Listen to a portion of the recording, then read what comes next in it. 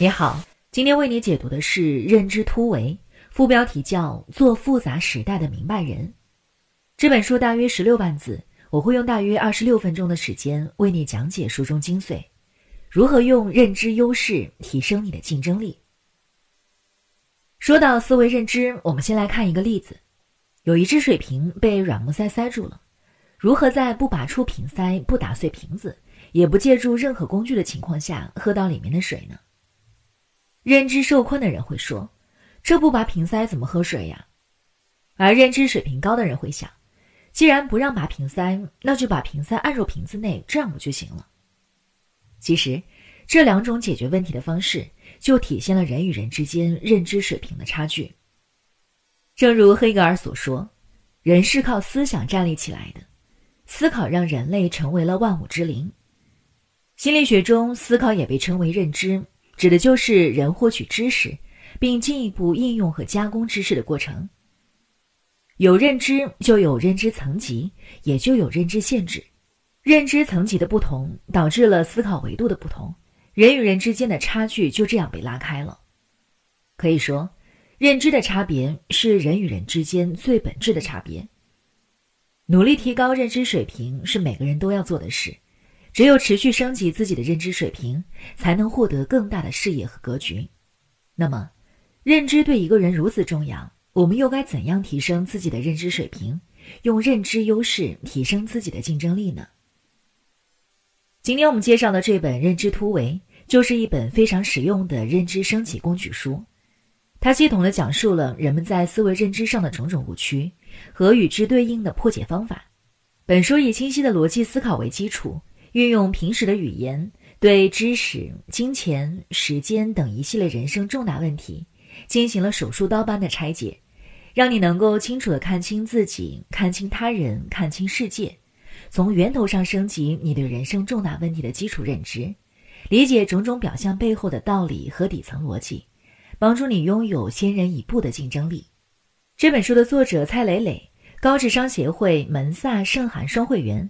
是一站式知识服务平台蚂蚁私塾的创始人，同时也是三十万家公众号“请便”的主理人，江湖人称“蔡叔”。作者蔡磊磊对人对事的洞察力极其深刻，他总能够用简单朴素的文字击中读者内心的认知盲点，带给人豁然开朗的情绪体验。好了，介绍完这本书的基本情况和作者概况，那么下面我就来为你详细讲述书中内容。第一个重点是，升级你对机会的认知，利用现有资源研发一个最优的初级产品，一招提升你创造机会的竞争力。第二个重点是，升级你对知识的认知，通过价值判断、深度思考、分享，三步打造你构建知识体系的竞争力。第三个重点是，升级你对时间的认知，依靠明确目的，减少损耗，屏蔽干扰。三个方法提高你使用时间的竞争力。好，我们先来看看第一个重点内容：升级你对机会的认知。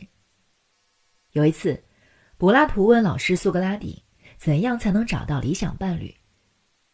苏格拉底没有直接告诉他答案，而是叫他到麦田里走一次，并且在途中摘一颗最大最好的麦穗，但是只能摘一次，而且持续前进，不能回头。柏拉图觉得这很容易，就信心满满的走进了麦田。结果，柏拉图空手而归。他对苏格拉底说：“我看见一株不错的麦穗，却不知道是不是最好的，还想再看看有没有更好的。当我走到麦田尽头的时候，才发现手上一颗麦穗也没有。”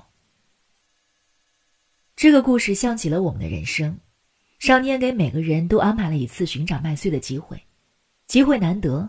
因为没有回头路让你走，只有用好手里的机会，才能找到那颗最大的麦穗。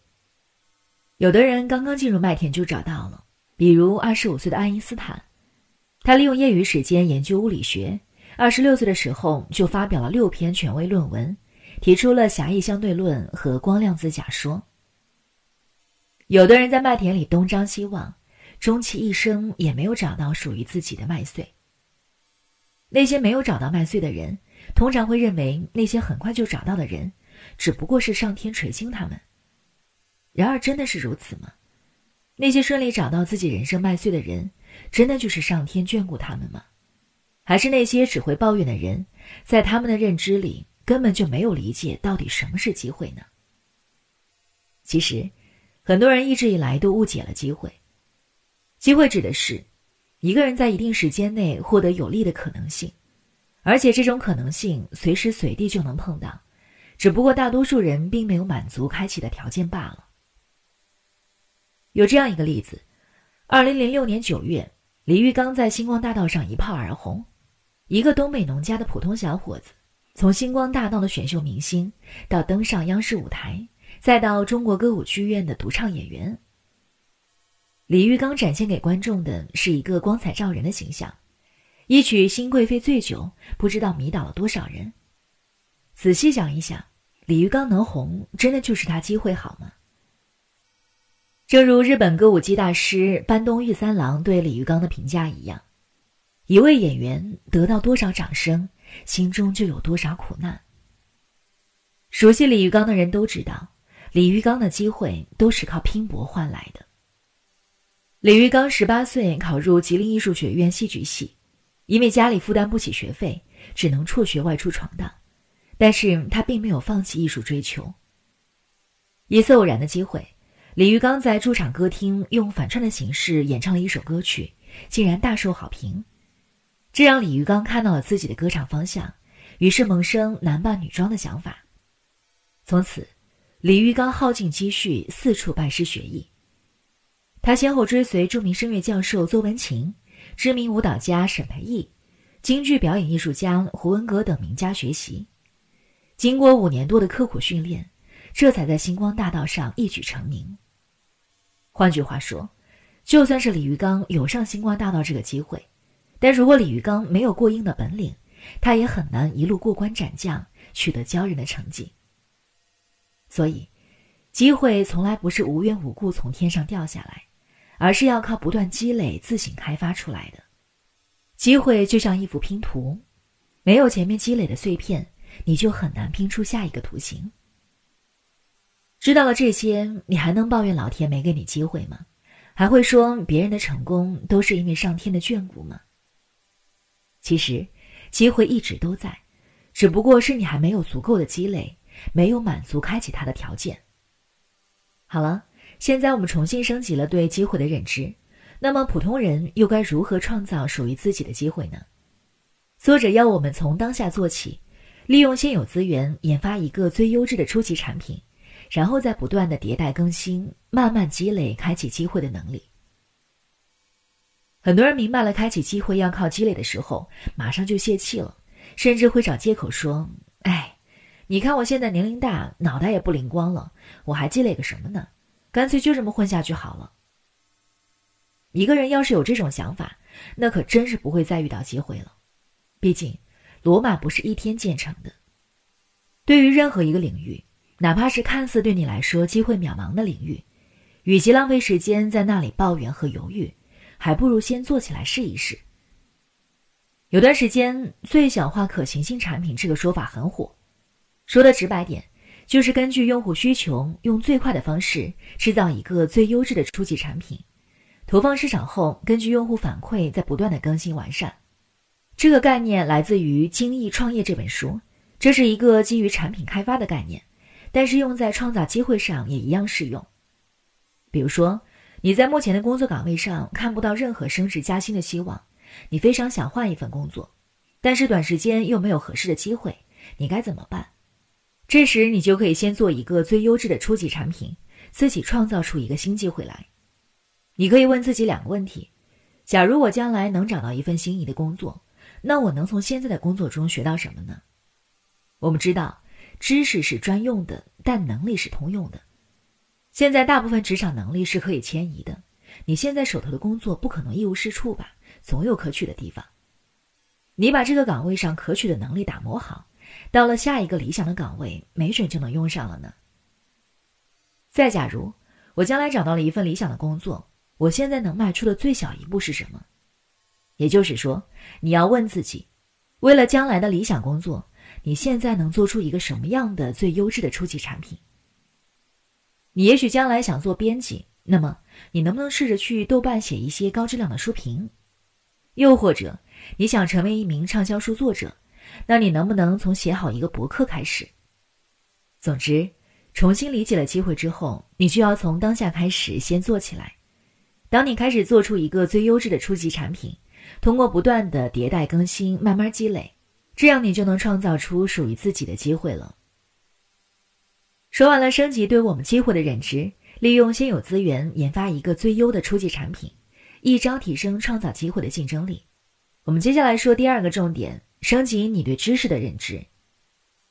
金庸小说《天龙八部》里有一位逆天的人物，他不仅拥有惊人的美貌，而且从小就饱读天下武学秘籍。可以说，她是一位集美貌与智慧于一身的女子。她就是王语嫣，被段誉赞为神仙姐姐。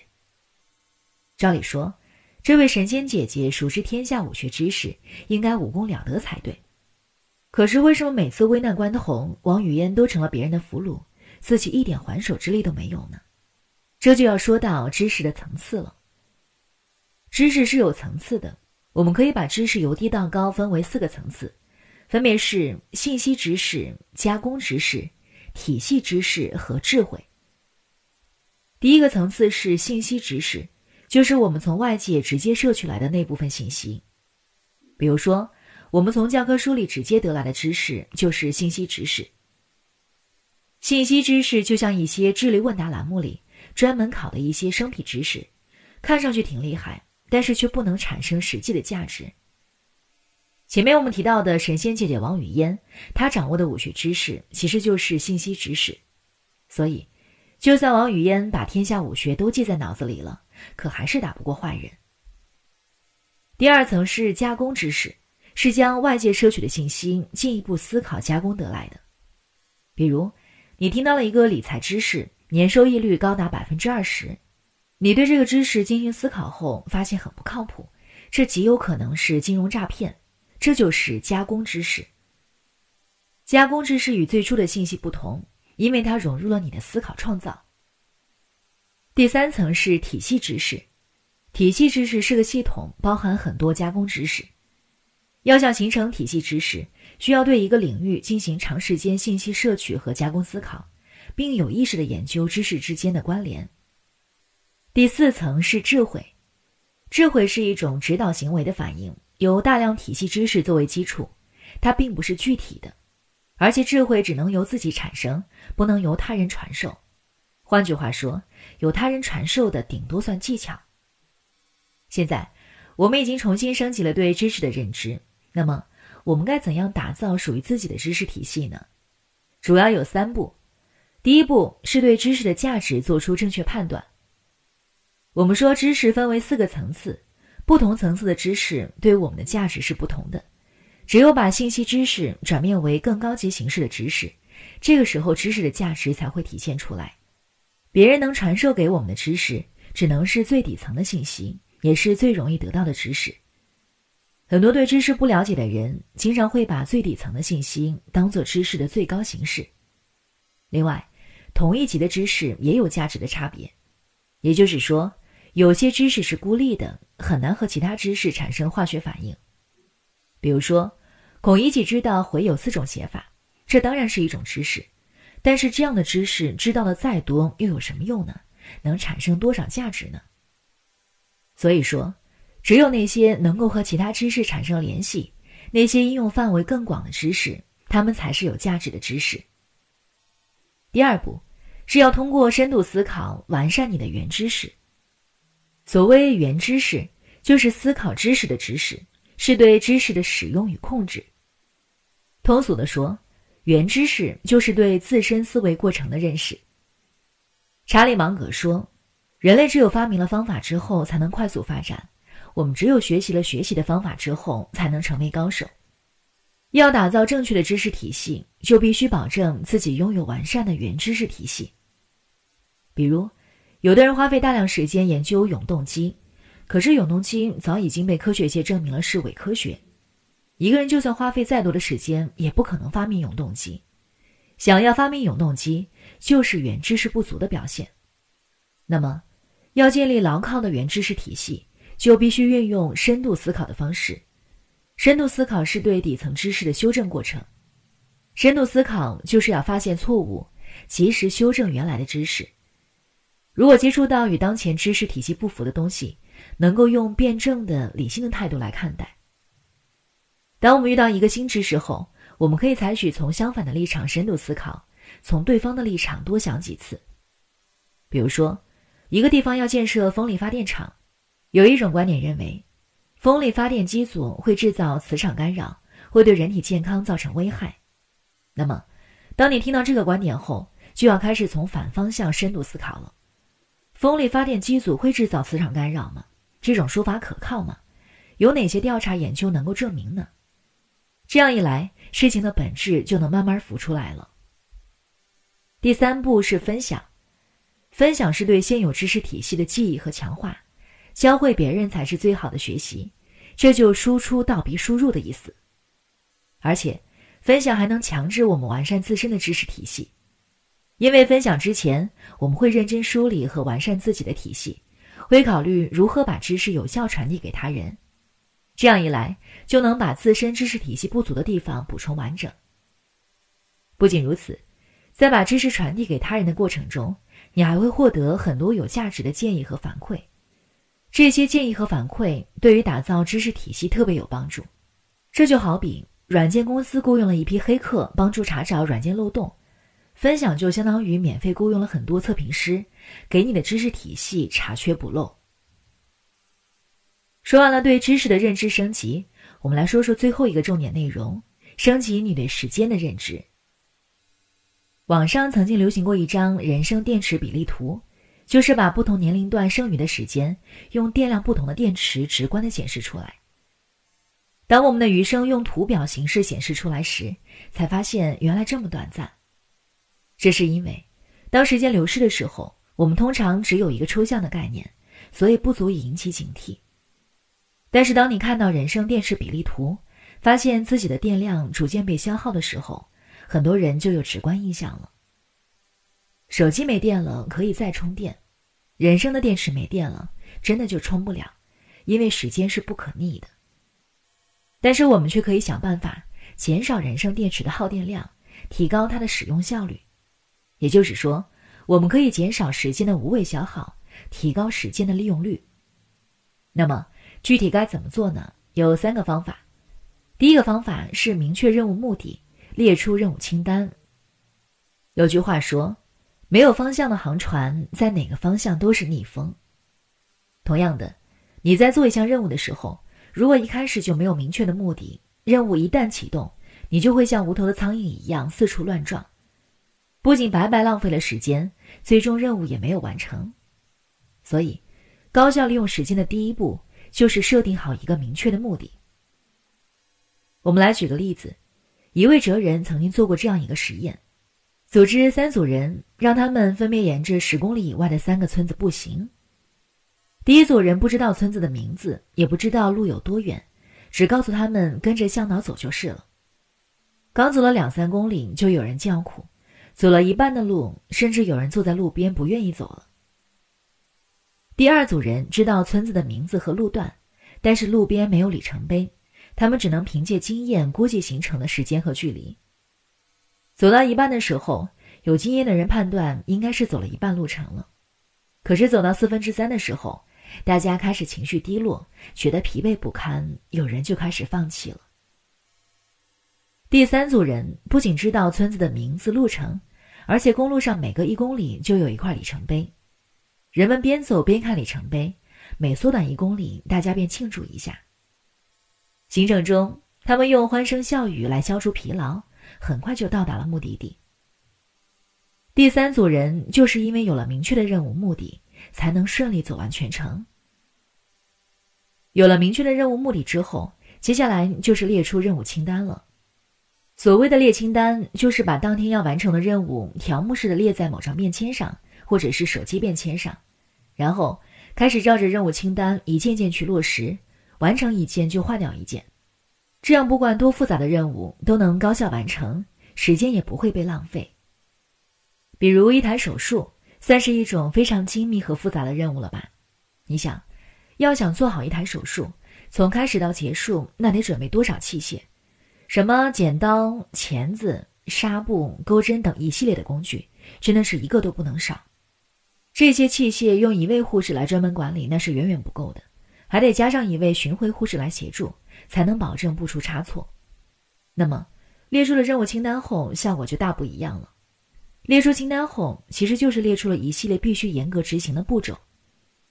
开始手术之前，护士就按照事先列好的清单清点好器械，这样不仅可以避免手术时出现器械遗漏，而且手术任务的时间效率也因为清单的使用而大大提高。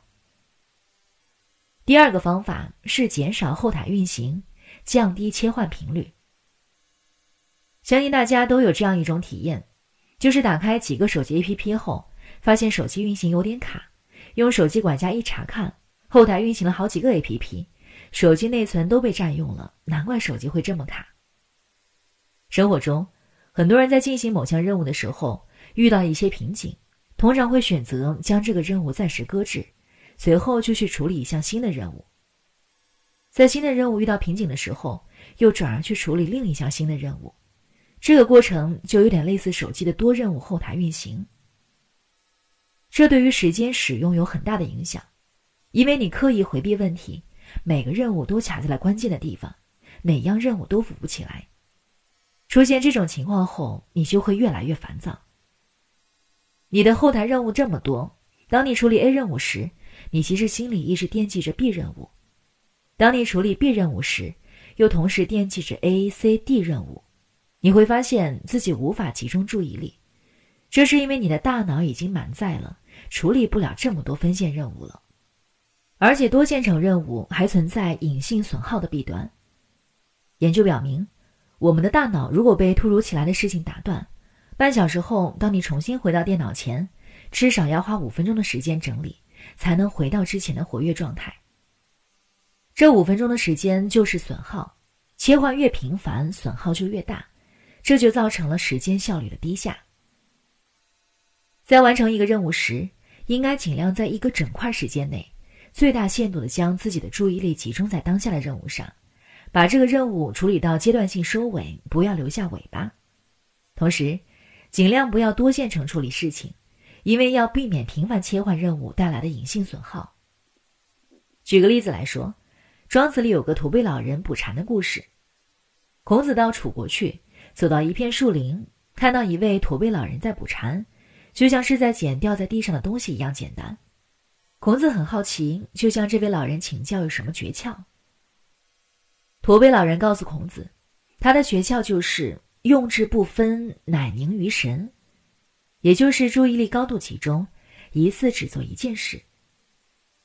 驼背老人在做任务的时候几乎没有受后台切换的影响，所以才能高效完成任务，时间利用率得到极大提升。第三个方法是远离噪声干扰，寻找高效时间段。日常生活中，我们周围充斥着各种信息噪音，打开网页看看网上都在传播什么，通常都是一些和营销八卦有关的信息。这些热点通常只有一天的热度，热度过了之后，人们的注意力又被新的热点所吸引。假如你每天看了这样几十条的信息，三年之后你又能记住多少？毫无疑问，这些信息就是噪音干扰，这对我们的时间是非常有杀伤力的。可是，通常我们难以做到不被网上的各种热点吸引，那么我们就人为制造一个热点屏蔽环境，比如。你可以在工作的时候断掉网络，人为屏蔽干扰信息，或者，当你开始工作后，就把手机调成静音，然后把手机放在离自己工作环境远一点的地方，这样你就有了一整段无干扰的工作环境了。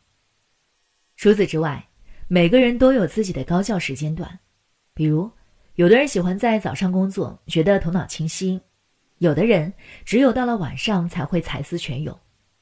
那么。